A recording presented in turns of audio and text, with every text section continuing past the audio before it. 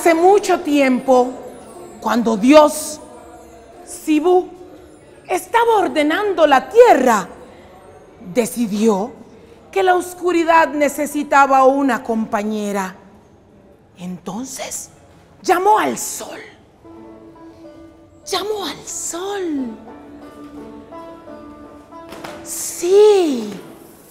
Y le susurró al oído la misión que tenía que cumplir.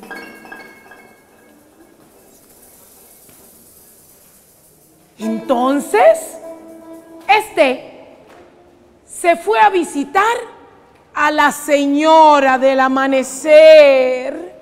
Cuando llegó, ni se había levantado.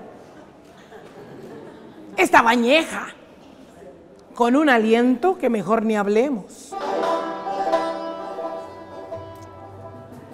Y cuando llegó el sol con esa apariencia y se paró en su ventana, le tocó el vidrio y le dijo, señora, buenos días, yo soy el enviado de Cibú. Abrió la ventana y le dijo, usted, tan feo, ¡chu! Váyase. El sol, muy asustado, se fue. Y luego llegó donde la señora del mediodía, Duluitami. Ella, bien prendidita, bañadita, estaba muy arregladita, estaba meneando el cacao.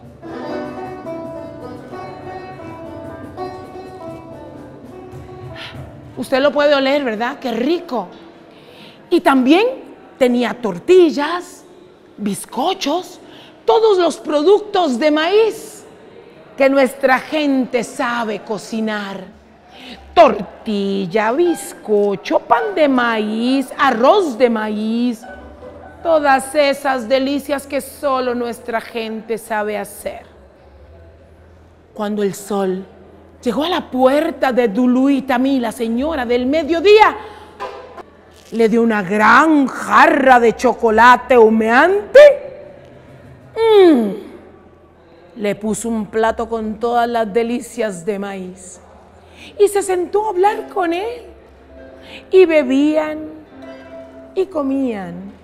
Y bebían y comían y comían y bebían hasta que el sol quedó que ya no aguantaba más. Y le dio las gracias y ella le dijo que no se fuera, él le dijo que tenía que irse porque tenía que continuar su camino. Así lo hizo. Se fue. Donde la señora de la media tarde.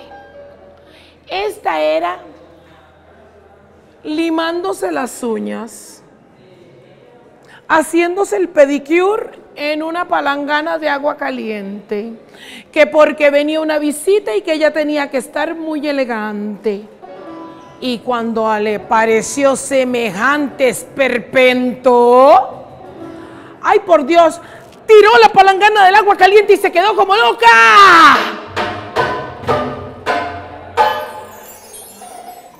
Con los hombros muy caídos y muy triste, se fue se fue a dar el reporte a Sibú, subió y Dios, Dios en su amplia sabiduría lo escuchó y él le contó todo lo que había vivido, esa travesía tan terrible con todas las señoras, excepto con la señora del mediodía. Entonces Sibú dijo, ¿Qué haré? ¿Qué haré? ¿Qué haré? Pensó, pensó y pensó. Decidió cambiarle la apariencia. Y con una apariencia que, uy, uy, uy, uy. Lo mandó a la tierra de nuevo. Y dale otra vez con la señora del amanecer que, ¡ah! lo vio, la quijada le cayó al pecho y se le salían las babas.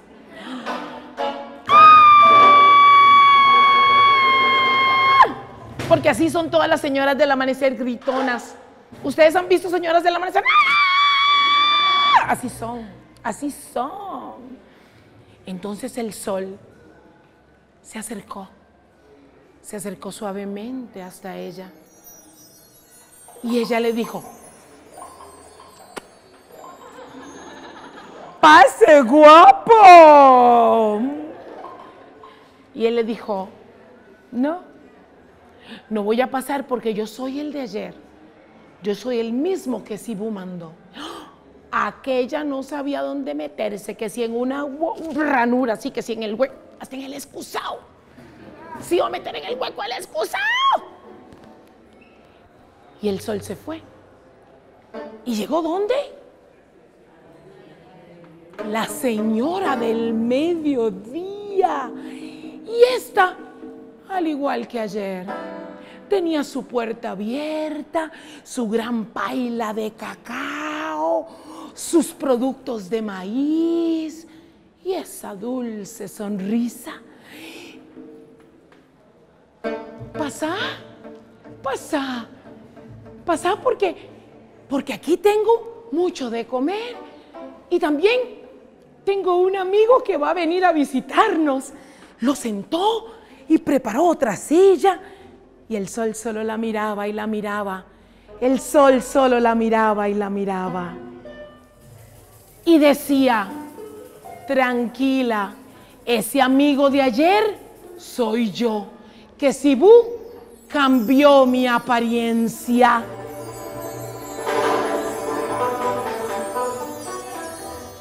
Entonces volvió a comer y volvió a tomar. Volvió a tomar y volvió a comer. Volvió a tomar y comer y tomar y comer. Y hasta allá, cuando estaba saciado, se fue. Se fue Sol. Estoy hablando muy bien de usted. Ay, Dios mío. Se fue donde Dios, donde Sibú, a darle el reporte. Y le dijo, ay, Sibú, como siempre, fue la señora del mediodía la que estuvo hermosa y maravillosa. Por eso, desde ese tiempo y hasta ahora, el sol se queda siempre al mediodía tomando chocolate y bizcochos con la señora simpática que no le importa la apariencia de la gente.